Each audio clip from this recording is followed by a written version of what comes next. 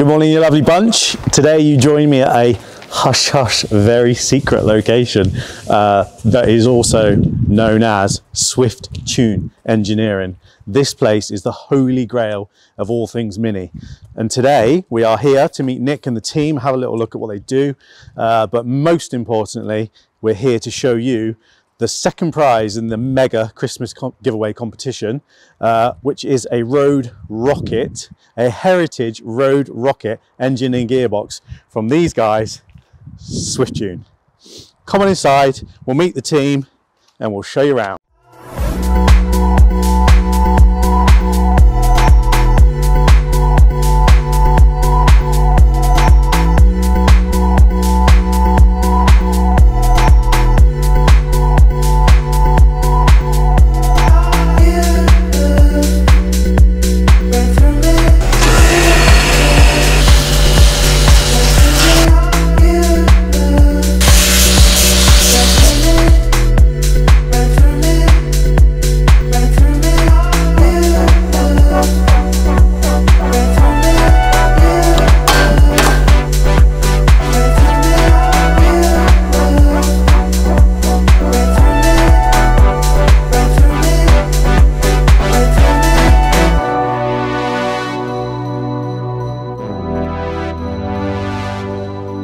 Hi, I'm Nick Swift, uh, the proprietor of Swiftune Engineering. Uh, we're very, very proud of our heritage and long association with the Classic Mini, uh, going way back to when my father started the company back in 1965.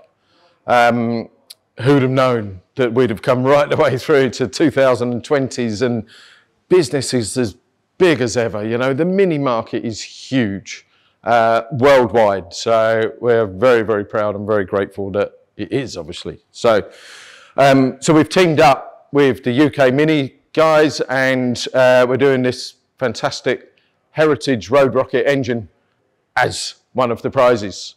Uh, what we'll do is we'll go through um, and explain and show you through the process of how that engine is created, you know, but it's sort of a, what's become a bit of a common myth, if you like, you know, that Swiftune is just renowned for these race cars. You know, we're, we're, we're historic motor racing at Goodwood and all our Mini Miglia and Mini 7 championship wins and stuff, but we don't. We still build and we're still proud to build road engines of different specifications, whether it's from a Mark 1 Cooper S original through to something wild and wacky, eight port, blah, blah, blah, you know. So, um, you know, as you can see, this is our Willow 3, still in its with guys from Goodwood. Uh, and then we go through to what we build for the road cars. So we build our Swiftune Mini Magic, you know, and you can see, I mean, they're beautiful, you know, but they are pure road cars. So, so let's show you through what we can do uh, and get to that